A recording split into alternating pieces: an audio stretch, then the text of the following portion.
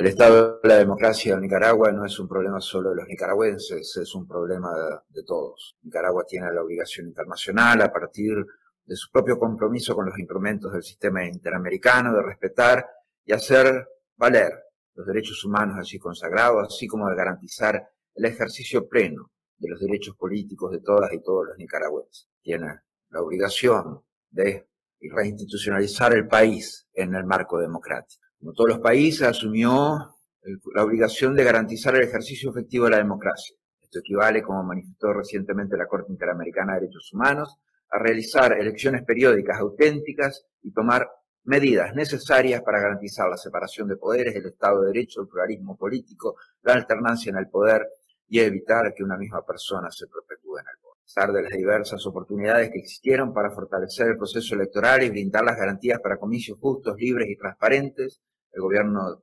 optó por el camino del autoritarismo, mintiéndole a la comunidad internacional respecto a su voluntad de trabajar para edificar un sistema electoral sólido. La Secretaría General de la OEA colaboró durante los últimos años a través de diversas instancias para contribuir con el fortalecimiento de ese proceso electoral. Desplegamos misión de acompañamiento para las elecciones municipales de 2017, que brindó recomendaciones importantes al punto que convenimos un proyecto para abordar una reforma electoral integral. Medio de este proceso, la crisis iniciada en abril de 2018 aumentó la necesidad de emprender serias reformas que pudieron contribuir a una salida democrática.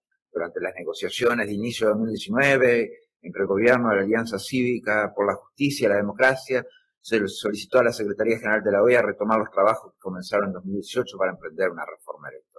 Incluso en los encuentros llevados a cabo en abril del 2019 se informó sobre los criterios para dar inicio a este proceso. Tanto el gobierno como la alianza estuvieron de acuerdo con la propuesta de trabajo. En poco tiempo las negociaciones fueron canceladas y no hubo más voluntad para emprender las reformas necesarias. A partir de este momento, de ese momento, se tejió una ruta que definitivamente lleva a las elecciones estas del próximo de noviembre menos de un mes de las elecciones en Nicaragua, es claro y notorio que el proceso electoral de 2021 no cuenta con las garantías mínimas para la celebración de comicios creíbles. Es notorio que hay presos políticos. Es notorio que Nicaragua tiene que realizar unas reformas electorales imprescindibles. Es notorio que Nicaragua tiene que tener elecciones creíbles en el futuro, en el futuro más inmediato, más cercano. Es notorio que Nicaragua tiene que liberar a los